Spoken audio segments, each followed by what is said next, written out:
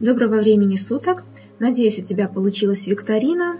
И после выполнения заданий первой части урока ты хорошо помнишь, что такое строковый тип данных. Во второй части урока мы продолжим закреплять понятие строкового типа, типа данных. Еще поработаем с командами обработки строк. В первой части я всего лишь их показала. А в этой части мы сделаем маленькую такую викторину, и эта викторина будет отличаться от простой викторины, которую делали в предыдущей части урока, тем, что у нас будет, наверное, всего один вопрос, если ты захочешь, то можешь сделать больше вопросов, но при этом у нас будет умная проверка ответа. Но сейчас ты увидишь и поймешь. Но прежде чем перейти к этому проекту, я задам тебе такой хитрый вопрос. Что будет, если попробовать сложить число и строку? Ведь у нас же есть операторы сложения. Почему бы не попробовать их сложить? Давай проверим, исследуем, как Scratch будет разбираться в типах данных, что он будет делать. Давай для эксперимента создадим две переменные, и так их и назовем. Строка и число и зададим начальные значения этих переменных. Для переменной строка мы напишем какое-то слово, ну, допустим, слово, а для числа мы введем какое-нибудь значение, ну, пусть будет не 0, а, к примеру, 2.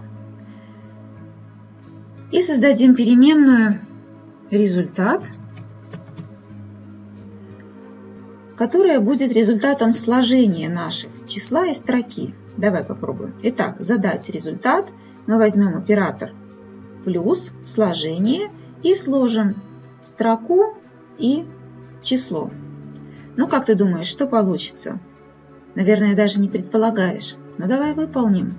Нажимаем флажок. И что получилось? Смотри. Переменная строка имеет значение слова, переменное число имеет значение 2, а сложили мы строку, то есть слово и число 2, а в результате получили 2.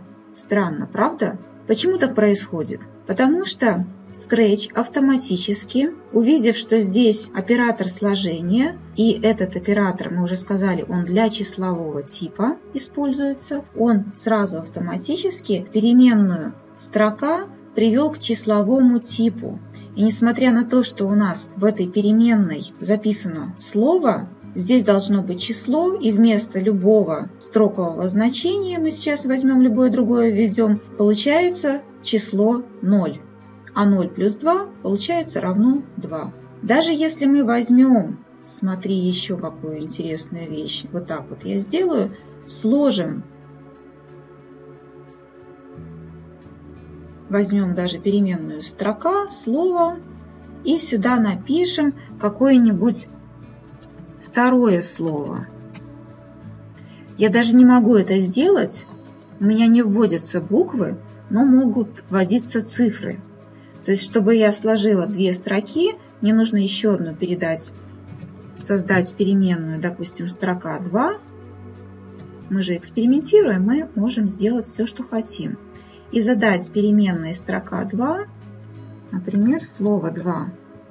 Ну или напишу второе, вторая строка. Вторая строка. И вот я возьму переменную строка плюс строка 2. Давай я выполню это. Просто кликну мышкой по этим двум командам, и они выполнятся. У нас в строке 2 вторая строка, в строке слово, а результат 0. То есть здесь вместо строковых значений у нас появились числовые нулевые, и они сложились 0 плюс 0. Что же делать, когда нам нужно, например, вывести результаты игры? Например, ты заработал 5 баллов, да? мы 5 посчитали, и попало это у нас значение в число. И нужно это соединить.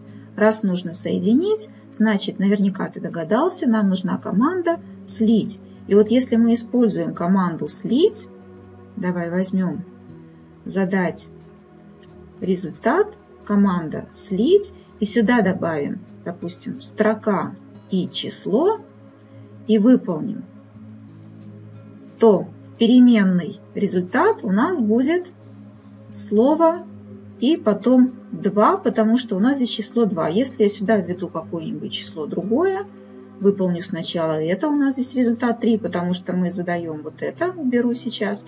А давай, чтобы вот было понятно. Вот так соберу, выполним. Вот у нас слово 3. И как видишь, опять без пробела. То есть, чтобы был пробел, нам либо после слова нужно поставить пробел. Вот я аккуратненько ставлю курсор. Увеличу немножко. После слова. Его даже не видно, к сожалению. Поэтому я увеличу на видео. Вот мигает курсор. И ставлю пробел. Вот, появился пробел. И сейчас, если я выполню, то у меня после слова появился пробел. То есть вот так вот с помощью оператора слить мы можем складывать строку и число и получать строку. Здесь число преобразовалось к строке. Это уже не число. Ну а теперь задание. Проведи аналогичный эксперимент самостоятельно, попробуй сложить число и строку и проанализируй результат.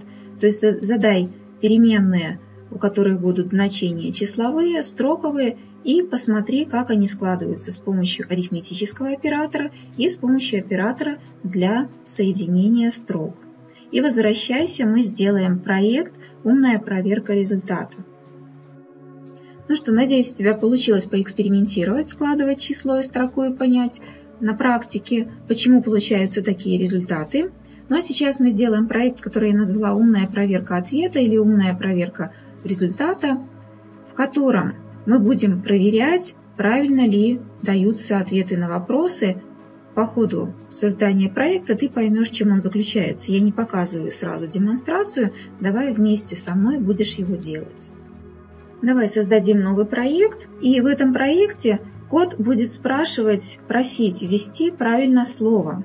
Ну, какое слово? Давай возьмем, например, такой вот как бы учебный проект – для первоклашек по проверке правильности написания слова «самолет».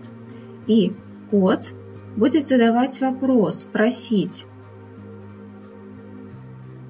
спрашивать, как правильно писать.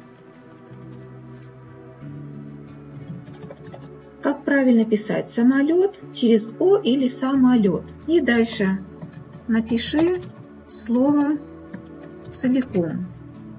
Вот в нашей викторине там на самом деле есть определенные недостатки, потому что могут вводиться ответы по-разному. Например, можно вводить ответ с большой буквы, но тогда уже будет ошибка потому что у нас заготовленные ответы с маленькой буквы. Здесь можно будет писать и с большой, и с маленькой, но мы будем проверять именно один символ, то есть вот эту вот букву О или А. Введена буква А или введена буква О. Для этого мы будем использовать оператор который выбирает букву в слове.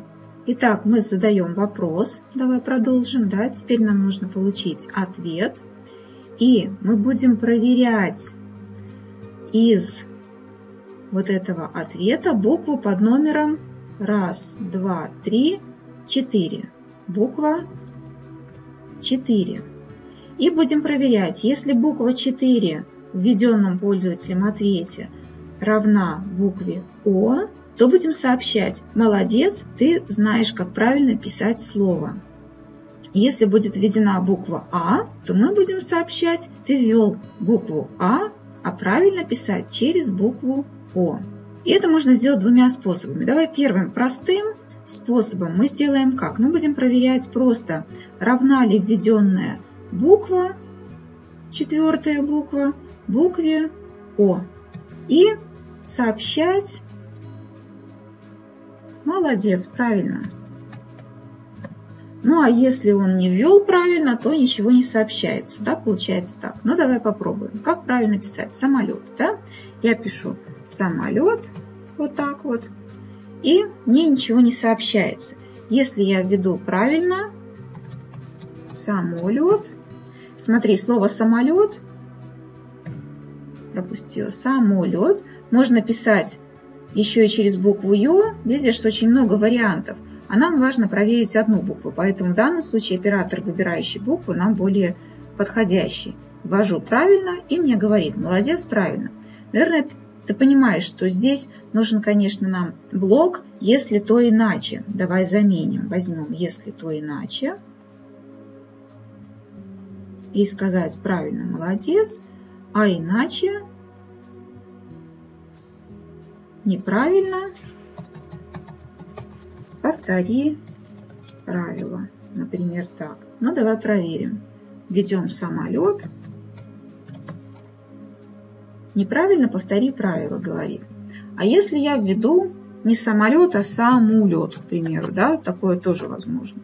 Он опять говорит неправильно, да, но какая была допущена ошибка, мы не знаем. Но здесь все буквы не переберешь, поэтому можно, конечно, еще проверить, введена ли буква А или какая-то другая, и сделать это следующим образом. Это будет более сложный проект. То есть если мы можем ввести вот так вот, вставить еще одно «если» внутрь «иначе», и будем рассуждать так. Если четвертая буква в ответе равна О, молодец, правильно. Иначе, если, давай продублируем вот так вот, я дублирую этот блок тоже правой кнопочкой сюда. Четвертая буква равна А, мы говорим неправильно не А, можно так написать, не через А, или так, лучше правильнее написать слово самолет пишется не через А, а через О. Повтори правило. А иначе может же быть опечатка, например, да? Мы можем сказать, наверное, у тебя опечатка. Попробую еще раз, к примеру. Ну, давай попробуем. Итак, пишем самолет. Неправильно, видишь, через А, а надо через О. А если вдруг у нас какая-то опечатка, ну, допустим, вообще вот так вот, да, сам, самолет, то, наверное, у тебя опечатка, то есть мы не можем эту букву идентифицировать, потому что таких уже букв разных может быть сколько угодно. То есть более сложный такой получился проект. Вот, может быть, это не совсем такой полноценный проект, но для проверки каких-то отдельных символов вот выбор отдельных букв может быть полезен. Проекты с языковыми играми мы пока не рассматриваем, но я надеюсь, что какие-нибудь примеры я чуть позже придумаю и буду записывать отдельные уроки. В этом маленьком курсе мы этого делать не будем, но я тебе предлагаю попробовать поэкспериментировать вот с этой командой, которая выбирает букву и проверяет, например, вот правильность введенных слов. Таких примеров можно придумать очень много и сделать такую интересную викторину для первоклассников, для проверки правильности написания слов. Я желаю тебе творческих успехов, придумывай свои какие-то проекты и приходи, будем в следующих уроках разбираться в других интересных вещах.